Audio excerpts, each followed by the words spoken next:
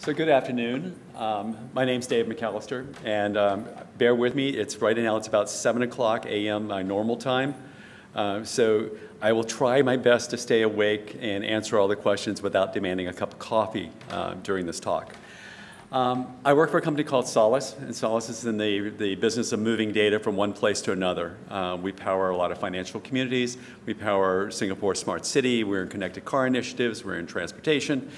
And what I'm going to do is talk a little bit about uh, sort of the experiment that I did in trying to work from an IoT sensor environment into Cloud Foundry. Um, and in this case, I will admit I'm using Pivotal Cloud Foundry simply because we had such an environment set up.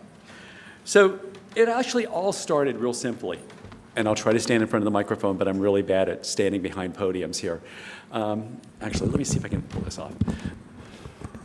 It all started actually really simply. Nobody in my neighborhood has the faintest clue as to what I do for a living. And so I decided to build a fairly simple little structure that said, I'm going to build something IoT that I can show people and then explain from that what I'm doing. And so I wanted to use a message to move the data around here. I wanted to build a simple set of services so I could, could mimic the, the necessity of a microservices architecture at the same time. And I wanted to learn as much new things as I could at the same point. Um, the three um, surprised looking creatures behind me are my three cats. And this is the kind of look that I usually got from my neighbors when I tried to talk about data movement and messaging in the first place. Um, so it was pretty much. And so it was a very simple aspect. I wanted to take a simple little particle sensor, and this is Shinyei uh, PPD42, and it measures either 10 micron particles or 25 micron particles. And I wanted to be able to build this into something that would report something very simple. And of course, that requires me to have the rest of the parts that were there, and I'll get a little bit more into the part list here. This was based originally off a project called Dustduino. And my thanks to Minnow Munitions and Matt Schroyer. This project itself is open source. So if you go out and search for Dustduino, you'll find the source codes available for this. And this was my starting point. Um, I'm a firm believer, I've been around, I was, I was involved in open source before it was called open source. I was at the meeting when Larry Epstein called it open source when it got named by his person. But nonetheless, I like to build on top of things rather than trying to recreate something from the beginning. The Dustduino is very simple. It has to come up in this orientation because there's a little resistor down here at the bottom that heats the air so the air goes up across the sensor field. And that's it. This is all it does, just measures the, the dust particles that are inside of that. So very simple architecture. This sensor connected in to show some display stuff. And what you're actually looking at is, from my, my neck of the woods, is data that came out of just being recorded and then dropped into a um, Excel spreadsheet to graphed out for five days in August. And as you can see, the numbers vary. And there's a reason for the numbers varying, and we'll get into that um, as I go into sort of the, the next steps inside of here. But because I wanted to treat this as a message rather than just treating this as an environment, you know, just passing the data, I stuck in the middle this virtual message router uh, construct. Virtual message router, community edition, free for use, have fun, do whatever you want to. You can find it out there. But I did this by passing a message. That meant that I had to look at data protocols. I'm no longer just passing a text string. I'm actually passing a message header, a message body, and going into this environment. Again, pretty straightforward, pretty simple inside of that. But then naturally, I showed this off to a couple of people. And somebody promptly says, hey, I work for this local area park called Edgewood Park. And Edgewood Park is a very unique place. It was actually saved because of a butterfly. It was about to be made into a golf course. It was saved because of a butterfly called the bay uh, checker spot. And the bay checker spot was an endangered species. And one of the last two locations it was found was in Edgewood Park. And so Edgewood Park was saved. But if you notice, there's a major road that runs right through Edgewood Park. And what happens is that we start seeing all sorts of invasive weeds show up because of that road coming through. There's all sorts of stuff that comes from the park. And somebody said, wouldn't it be kind of cool if we could figure out what particles are coming over and what happens when the wind direction changes and all these different things. And they said, oh, Dave, you did it for one. You can just do it for the park. No problem. Turns out that IoT Scale matters when you build the architecture. very honestly.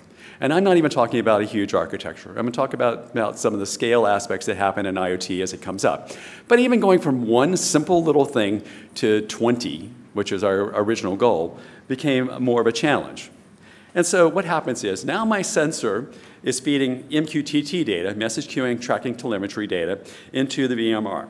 And I wanted to feed that MQTT data via the, the Solace VMR into Cloud Foundry. And I wanted to feed in road data coming in, and I wanted to feed in weather data coming in, and then I wanted to put something out so I could show it wherever, be it on my phone, be it on my, my um, computer browser, all those different places. So MQTT data on one side, REST data going in, and REST data coming out. I'm sure that with, you, with most of you all, if you're familiar with Cloud Foundry at all, you know that the access of going into a public cloud and into Cloud Foundry has some challenges if it's not HTTP. Fortunately, there are some solutions around that, um, and um, one of them that I'll, I'll, talk about that I did use is inside of here. So this is what it actually looks like, all the different pieces here. And there are actually two solutions here. As we've started rolling this out, um, I'm getting other people to, to help pay for this, um, it works out this way. This thing here is a Juice solar battery. So it charges itself during the day, and it can support the entire needs for the Arduino there or there, using an Arduino Uno um, inside of it. So it's perfectly capable of doing that, and the battery itself, without any charge, will run that environment for about four days. So that's, that becomes very straightforward. It's also waterproof, and it makes a nice protective top for the environment that we're going inside of here. The original thing used, I think it's this one. Yeah, it's this one here, which is an Ethernet wireless environment. So Arduino has an Ethernet shield that needed to be connected to it. And the one below it is actually the Ethernet wired one, which I happen to have lying around. It was my first test case, was to use that one. So now it's the wireless one. Now I'm actually gone to using this Arduino, which has wireless built into it. So the entire environment is this Arduino, this sensor, and this battery. And that's it. And now I'm tapping wirelesses that already exist around the park, but that becomes the, the concept. The goal is to ring the park. And right now I've got probably five or six sensors that are out here. I do not have a dashboard, and as I say, this is a very bad mock-up. As you can tell from my PowerPoint slides, I am a lousy design person. Um, so somebody else is going to have to work on the design for me going forward here. But as you can tell, we do tie things such as wind direction, we tie a little bit of the traffic activity, and we tie in particular the particulate count that goes on. And right now, I'm not dropping it continuously. I am dropping it on, I think, uh, what did I pick up, up here? The, on basically a daily basis inside of here. But the goal is to be able to tie all these things together into a visual representation. So you can see where the traffic is busy, and you can see what direction the wind is blowing from. The wind has a major impact on how much particulate data these sensors pick up, as well as does the elevation above sea level for that environment. So in the center of this park, there is one very tall hill, and the particulate matter up there is not affected by the wind direction as much as you would expect it to be. And that's because being in California, we spend eight months of the year in a completely dry state and the dust gets picked up. And so as it goes up the hill, the dust seems to go up that hill and it's a pretty consistent um, measurement, not always. You'll also can tell, I should, I should have put it on here, but you can also tell that there is one distinct dip. I think it's the last day. No, it's this day. Um, number four here. This distinct dip is because it's a Sunday morning. And so the traffic on the road is not as busy. And so there is definitely a distinct dip that happens inside of that. So why did this all become kind of an interesting thing? Well, you know, as it turns out, IoT is really all about the data. We can talk about the sensors, we can talk about the environments, we can talk about the gateways, but very honestly, IoT is all about the data. It's big data.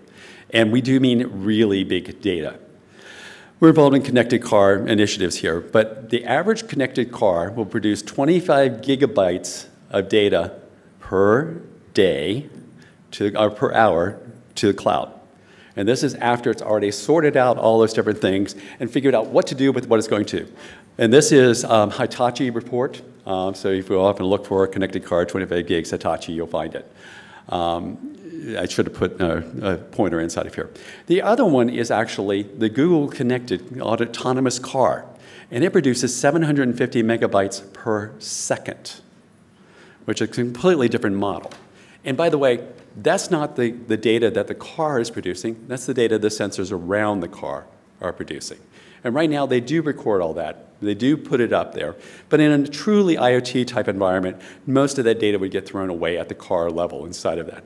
But just to give you an impact, 25 gigabytes of hour per hour for is 6,875 gigabytes or 6.875 terabytes per year for the US marketplace alone, if every connected car. If every connected car, um, oh, sorry, if every connected car in the US was running this for the length of time that they think about running, which is 240 hours a year for here, it's uh, 1,740 exabytes of data.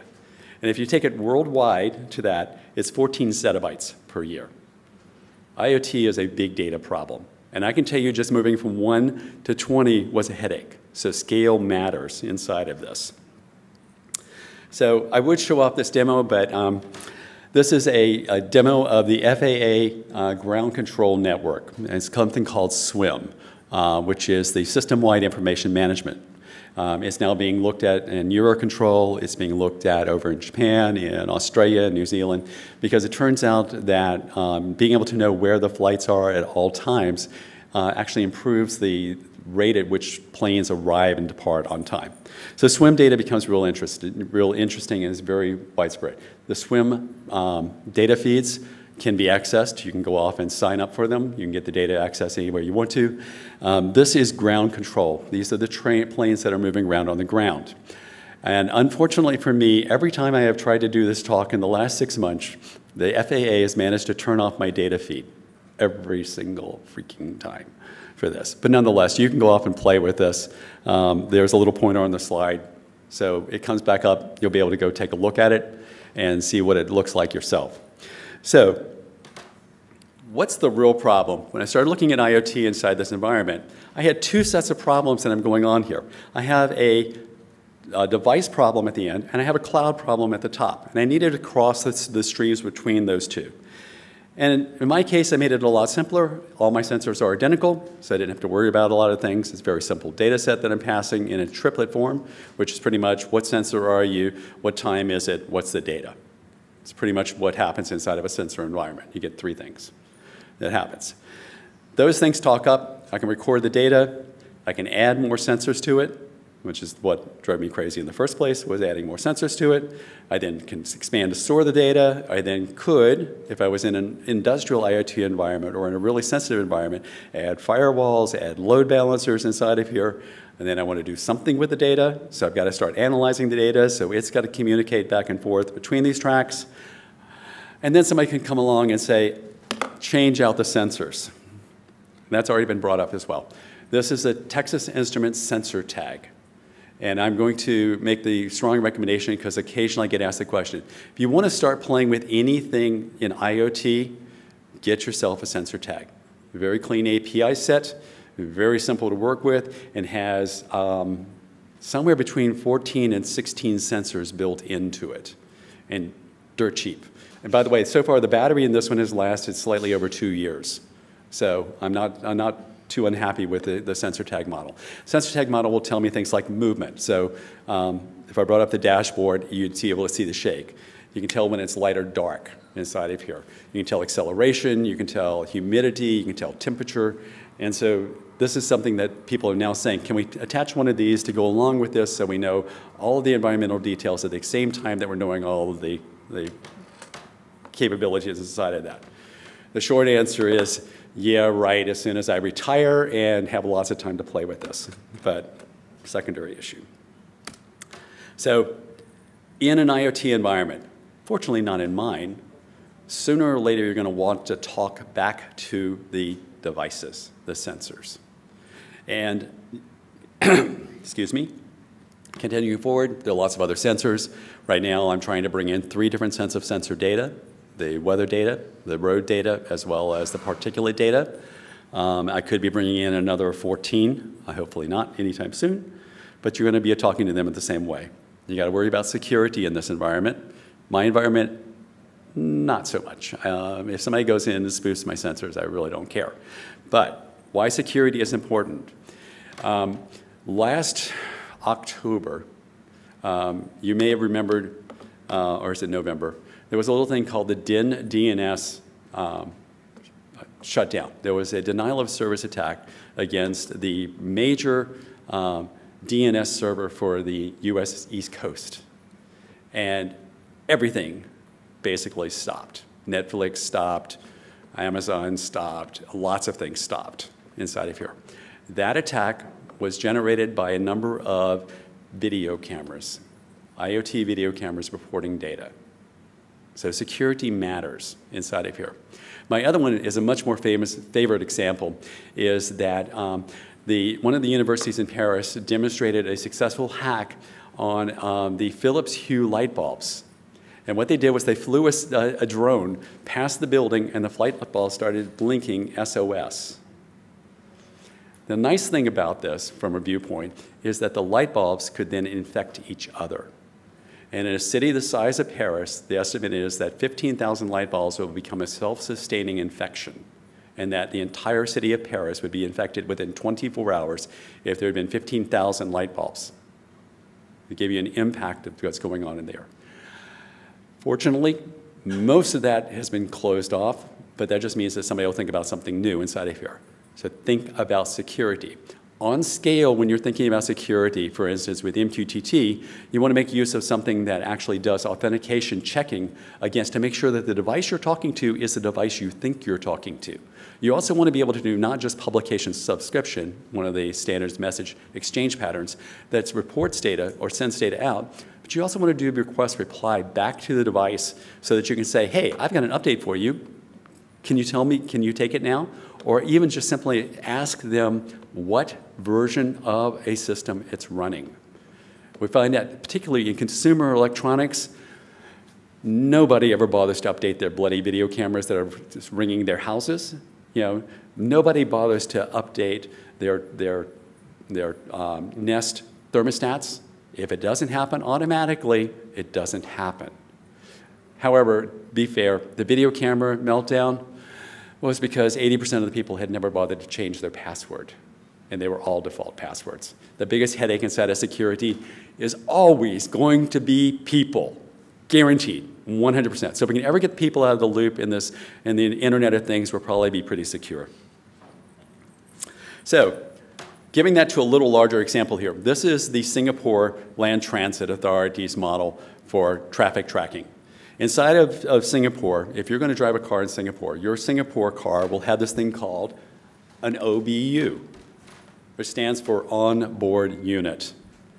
That's pretty straightforward. And it reports MQTT.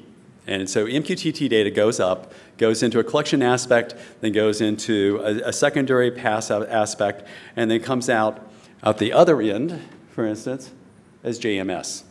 And the devices actually are smart enough. And one of the reasons I love them is that they can actually change me from MQTT to JMS, and I don't have to write any code to do that. I don't have to worry about it. It'll just change the, the protocol format for me automatically.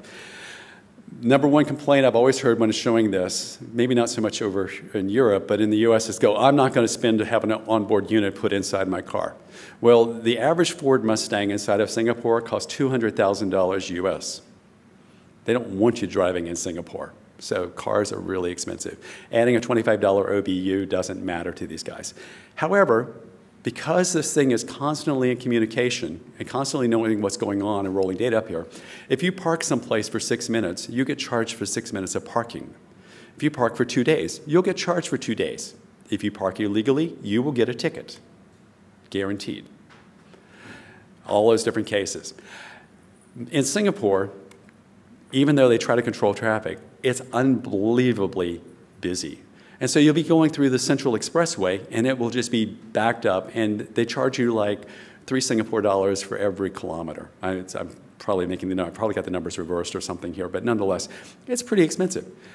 This capability, because it knows where your car is, what your car is, can come back to you and say, hey, if you'll swing over to the southwest freeway instead of the central freeway, you'll get there faster and give you a time estimate, and I'll reduce your cost from three to one dollars for every kilometer you run. And so it becomes a social mechanism that then transports back. Now, this is done because of the fact that the thing is in constant communication. These are always on environments. Even if you go through a tunnel and it disconnects, it reconnects. The protocol has to be capable of sustaining disconnection in an IoT environment. MQTT is an always on protocol, but being able to cache those environments means that you get back whenever you come back into connection. And that becomes really unique. Um, the, the person, the architect who built that, this talks about, for instance, he lives a little bit out of town. So his first 10 kilometers of driving, and he usually does it at four in the morning. There's not a lot of cars, and so he tends to slightly exceed the speed limit. I think that's the way he phrases it. Uh, by slightly exceed the speed limit is something like he does about two and a half times the speed limit for that section. I think it's a 30 kilometer or 35 kilometer section, and he does like 85 uh, inside this. And once a month, he gets a letter from the police department saying, "We know you're doing this. If you don't cut it out, we're going to going to do something to you." Now, they don't have a law that lets them do that, but they could certainly say, "We know you're going to do this at 4:33 every morning, and we're going to have a car sitting there waiting for you." So there are good sides and bad sides inside of here, but this is fairly simple. Now, I wanted to talk about IoT protocols, mainly because, whoops, wrong one mainly because there are a lot of them. MQTT, we've just talked about, message queuing tele telemetry tracking became out of the IBM MQ environments. MQTT SN for sensor network is a version that actually allows disconnected and reconnected sensors environments. CoAP, constrained application protocol, and you can go down the list. DDS, AMQP, uh, advanced messaging queuing protocol, is actually turns out to be very popular for IoT over here in Europe. Um, it's about 11% usage. And that sort of leads me to the next thing, um, which is, okay, so I got a lot of these, but you really only have to worry about two or three. HTTP and the REST protocol is still the number one leader uh, for, whoops. Okay. Back, yes, HTTP REST protocols are still the number one leader for protocols in IoT space. EMQTT and CoAP are the next two that follow. Um, this is data from the Eclipse Foundation. Um, I put two years on there so you can see that um, MQTT and CoAP are the fastest growers in, MQ, in IoT protocols. Um, however, anybody who comes back and says none, um, uh, please don't talk to me. Because if you're not using a protocol for IoT traffic, you got more problems to worry about than I'm going to solve. So, HTTP and MQTT, first two. CoAP, special case. So, a little bit of consideration. I've covered some of this. You have to worry about connections, subscriptions, and queues. That's how these devices talk to the back ends. You have to worry about the message exchange patterns inside of here. Device-initiated PubSub, sensor talking to the backend, and request reply, cloud-initiated request reply is the other one that you have to worry about. Keep in mind with Cloud Foundry, Pivotal Cloud Foundry, and so forth, these are not as easy as they look. Thankfully, there was this uh, thing called TCP routing or TCP routes, which um, GE Predix, I first think they first talked about it in Cloud Foundry in 2015. Uh, which allows me to natively handle MQTT into this environment. So I mentioned that, I, that there was a workaround for MQTT going into Cloud Foundry. I didn't have to go HTTP. That's how. TCP routes, I think it's TCP routes, are the way that you can manage to pull this off. Very slick piece of code. Um, the headache there is making sure that it scales appropriately to your environment. Oops, come on. So let's talk a little bit of quality of service. And very quickly, um, for this, QoS 0 is I'm going to send it. If it gets there, good. If it doesn't, don't worry about it. QoS 1, I'm going to send it, and I'm going to make sure that it gets there. But you can duplicate the result. And this is where timestamping can be your best friend inside of a sensor environment. You can easily identify duplicate environments here. And then QS2, which is once in exactly once, each of these require more traffic. So when you're looking at this from a bandwidth viewpoint, um, it becomes very important to realize that your bandwidth goes up as you, the amount of traffic goes up. Um, There is a stateless challenge if you're doing multiple tiers like this. When the device at the bottom tries to talk to its backend piece, it's load balanced into an environment because that's not a single computer in the middle here for that. And then it then talks to another computer which talks into its application space. If that connection goes away, there is no guarantee that the load balancer will restore it to the correct point, the point that it last was. And so riding through a QoS2 environment within a multiple environment, firewalled space, is non-trivial. It can be done, but it is non-trivial. Uh, when you go into a cloud environment where you then are crossing additional boundaries for networking, it's even less non-trivial, or more non-trivial, um, whichever way that works. Protocols, I'm going to scream through this section because um, I can talk about this for about four hours but nonetheless. Um, AMQP, great, brand new, fully standardized. Um, it supports TCP, UDP, high processing power. You usually see this in the back-end environment, but I am beginning to see it show up in, in IoT environments, um, particularly again here in Europe, about 11% of the marketplace is using AMQP as a sensor level environment to talk to the back end here. It is bandwidth intensive. Header fields are big for that. JMS, Everybody use JMS. JMS owns the data center, very honestly, inside of here. It's dependent on devices, and there's no interoperability between stacks. So while JMS defined a wire connection, it did not define an API environment. And so there is no guarantee that if you change JMS providers that you will be able to, to adapt your code without change inside of here. Um, all classes of service, but there's no interoperability becomes a bit of a headache inside of here. Uh, REST, of course, everybody knows REST. REST lives everywhere, don't worry about it. No QoS, you're on your own. No message exchange patterns, you're on your own.